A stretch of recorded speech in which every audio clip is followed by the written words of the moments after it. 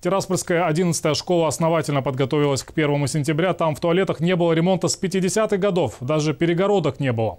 Подробности в сюжете Владлены Донковцевой. Во дворе 11 школы репетиция. Танец покажут 1 сентября на линейке. Вернуться в школу после онлайна для детей – это долгожданное событие. Первый урок физкультуры, затем русский язык. Расписание для старшей школы уже составлено. Дистанционки не будет. Придется просыпаться, идти в школу, а не нажимать на кнопку ноутбука. Пока дети были на каникулах, школа не теряла время. Ремонта в санузле у старших школьников не было с 50-х годов.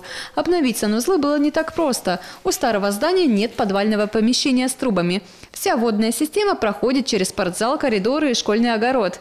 Сейчас трубы поменяли. Еще одним требованием от СЭС было наличие туалетов на каждом этаже. В данной школе в старшем корпусе был оборудован новый санузел на третьем этаже. Э, таким образом, в целом отремонтировано 6 санузлов для учащихся, один санузел для педагогов. На дверях пока нет опознавательных табличек М и Ж. Сейчас нужно все убрать и помыть от строительной пыли. Теперь вместо старых стен с толстым слоем краски тут глянцевая плитка и кафель. А для еще большего комфорта новенькие напольные унитазы оградили перегородками и поставили дверки. Такого тут никогда не было. Мне очень нравится, что сделали отдельно, потому что, думаю, некоторые люди стеснялись, то, что ну, смотрели на, на друг друга девочки. Для девочек обещали повесить зеркало над белоснежными раковинами. Обновить макияж, поправить прическу для старшеклассниц – это важное дело. А селфи в уборной – это же как отдельный вид фотоискусства. Кстати, до ремонта раковина здесь была одна. Решили поставить вторую.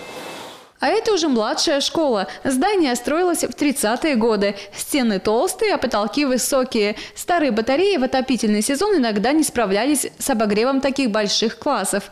Их заменили на новые. Батареи повесили, но пленку пока не сняли. Сегодня-завтра школу отмывают после ремонта. К 1 сентября все должно быть готово классе будущих первоклашек учебная доска украшена картинками и словами приветствия, а на учительском столе медали для новых учеников. Учителя надеются, что никакая пандемия не заберет детей снова на дистанционку.